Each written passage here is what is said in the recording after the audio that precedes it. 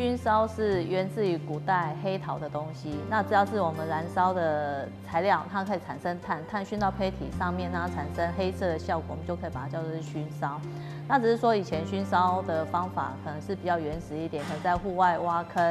然后用木屑或者是木材去烧。那我们现在有做一些比较新的一些技法。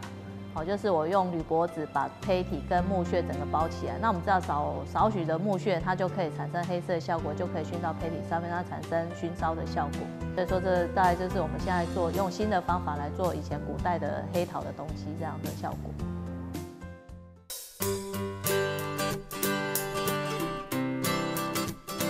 细泥浆主要是要让胚体它在打磨的时候，它表面的亮度可以比较亮一点。所以我们要制作细泥浆，所以说就是说你用什么土来做胚体，就是用什么土来做细泥浆。那细泥浆的做法主要就是土、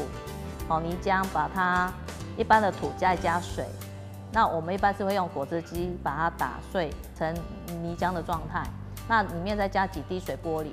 让它比较细的颗粒会悬浮在上面，粗的它就会沉淀。那我们主要就是要上面的细泥浆，比较是悬浮在上面比较细的颗粒的部分。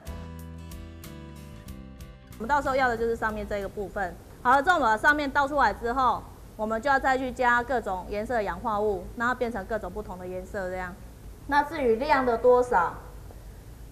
其实我没有办法跟你说它多少 CC 加多少多少水，多少重量土加多少 CC 的水，就是凭经验值，就是多少土加多少水，搅一搅，哎，觉得好像还太浓，再加一点水进去这样。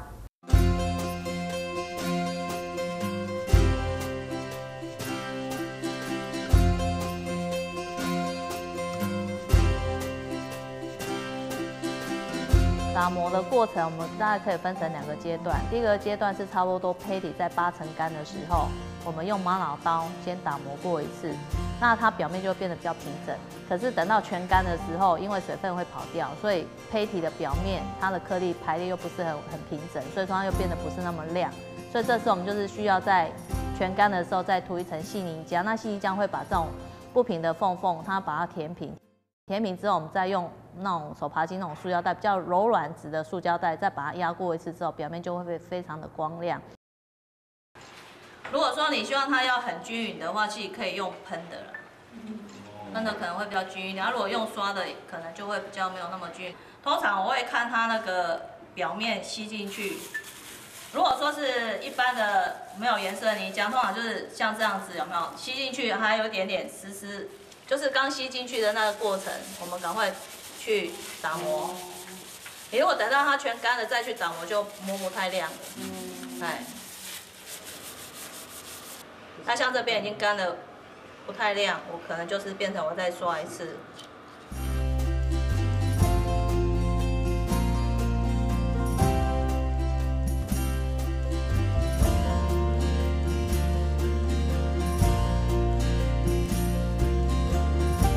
那这个亮度是我们一直在烧到一千度，它的亮度都还会一直存在。那我们主要就是要这个亮度，因为这个有亮度的胚体在熏烧的过程中，它烧的黑色会比较饱和，那烧出来颜色会比较漂亮一点。